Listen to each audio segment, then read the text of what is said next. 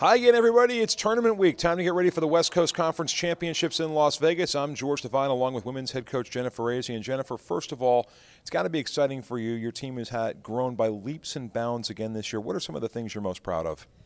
You know, I'm most proud of our players. I mean, they've really embraced uh, working. They've worked very hard this season. They've never stopped believing in building a program, especially our, you know, our seniors with uh, Andrea and Taj from when they came in, and then Paige kind of joining the mix uh, a little bit later. But um, as they've gotten better, the program's gotten better. And speaking of getting better, 17 wins in the regular season. It's the most for the Dons in the time you've been here. But you got to go back a little bit further for the most for the Dons since 2001, 2002. How big is that?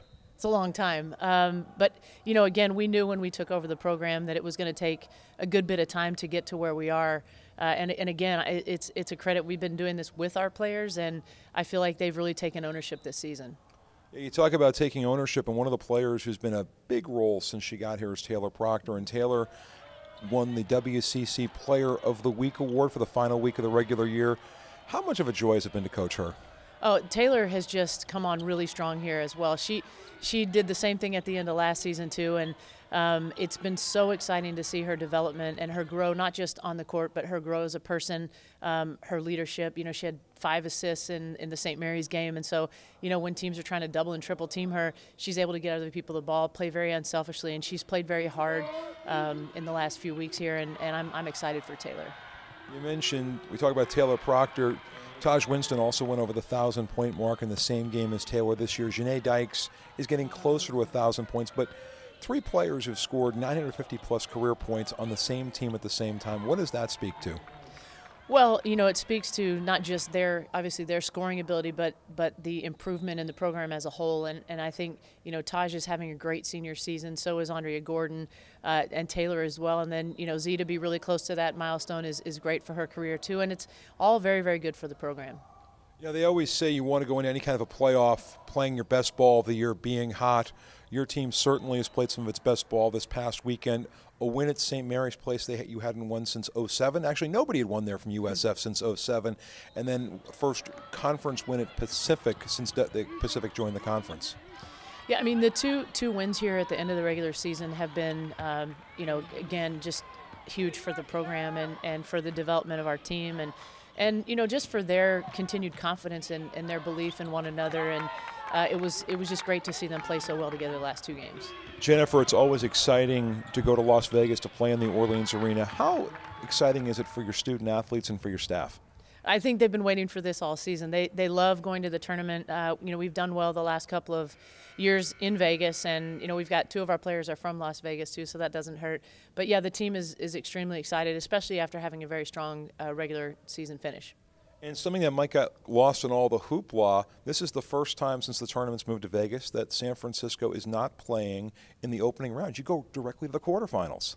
I mean, it's it's huge for us, and it's something that we've talked about, you know, all season. That that this is where you know we were, not not that this is your goal necessarily, but you know that we wanted to make strides. And you know, once you get in the tournament, any, anything can happen. Now you play Pacific again on Thursday. How hard is it going to be to pull off back-to-back wins against the Tigers? Anytime you play anyone in our conference back to back, it's challenging. I mean, everyone in our conference, you know, it, is very, very strong. So uh, it, it's going to be a challenge for both teams, and uh, we're looking forward to it, as I'm sure they are. Uh, but their Pacific is a great team. I mean, they, they shoot the three really, really well. They're up tempo, they pressure. Uh, they're they're a great program is maybe there's something that's going to help the players muscle memory wise just this is the last game they played. Maybe that scouting report from a few days ago and the experience a few days ago stays a little fresher. I would think both coaches are hoping for you know some some you know retention of not only what you did well but what you didn't do well um, to learn from to go into this game.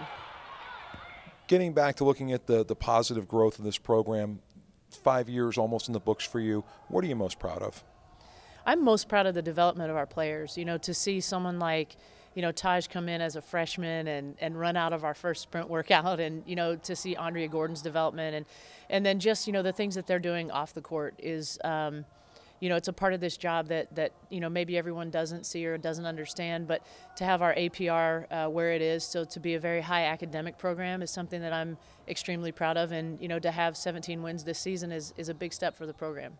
Yeah, it's funny you mentioned the invisible part of the job. I think when people see you on the sidelines, what percentage of their job of your job do you think the average fan sees? I, I think they might see one percent of, of the job. I think people, you know, have no idea what goes into uh, a college coach's life, and you know, and people can quite honestly be very critical and and really don't necessarily have the full grasp of what it means to develop um, young people and and to help. Uh, I believe our, our our job is to help them grow and then graduate and and become better people and and change the world. Well, Jennifer, certainly changing the world, changing the culture here for women's basketball in the Hilltop. Congratulations on a great regular season, and best of luck in the West Coast Conference tournament. Thanks, George.